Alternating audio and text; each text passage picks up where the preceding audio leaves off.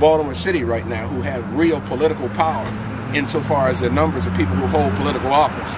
So, you know, I don't, I just dismiss that kind of crap. I mean, why? Again, my question is, why was he on their, on on on their property? I mean, why was he there? He claims he was jogging by. Well, hell, you're a good mile and a half from the Conaways. Why are you just jogging by?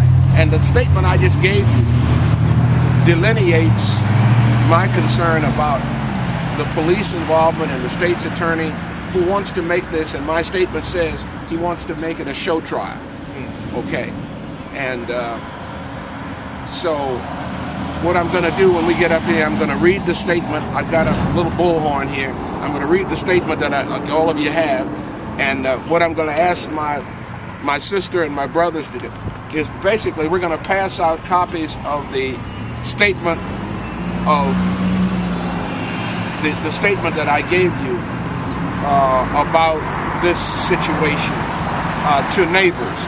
I'm not going to engage in, since I'm organizing this, I'm not going to engage in any fight with neighbors. If they want to take the statement of opinion, fine. I'm going to the next door and hand it to them. I mean, I'm not going to get into no long. The statement speaks for itself. I will use the bullhorn. If neighbors complain about the bullhorn and the police enter the picture, then I will not use it. But I'm going to use it until such time as people complain about it. Because the duration of this demonstration is for one hour. so it ain't no. And you're, you're taking this to his house because he went to Mr. Conaway. That is correct. What's good for the goose is good for the gander. You know, uh, he has to understand that, uh, and I understand he's a Jewish man. Uh, that's my understanding.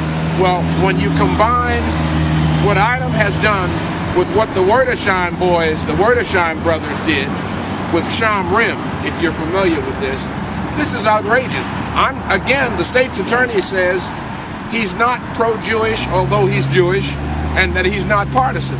But the Werdesheim boys have not have yet to be prosecuted. They've had five postponements. February the first is the next hearing date, and they're Well, going to try to. Uncommon. I mean, postponements are cities. Postponements in the city is uncommon. They give you postponements so you don't get the But story it- right. to me, it's a circus kind of atmosphere surrounding enforcement of law. And most recently, and I was shocked. This happened what the day before yesterday, when the when the white fella uh, shot and killed, or this week earlier, shot and killed this guy uh, in Baltimore, and he's been out on bail twice. What's the guy's name? Brandon. Brandon Mitchell. I can't understand this. I can't get this through my head. So the state's attorney's office said, well, it's the judge. As much mouth as he has, I'm talking about Bernstein. I expect Bernstein at the least to criticize the judge for his uh, irresponsible conduct and ineptitude, and, and Bernstein is not saying a damn thing. Okay? He's got a whole lot of excuses on why they're not doing what they should be doing. And so I, I'm, I'm outraged by that. What should Bernstein be doing?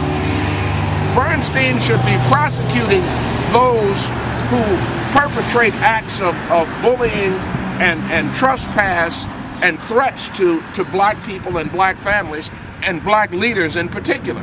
That, that's my concern. Should he so let's, let's start walking Should he distribute the law equally amongst all people, not just because of the color of their skin or their political connections? Well, he should, but apparently he isn't. So, so what is our message to Ber- what is your message to Bernstein?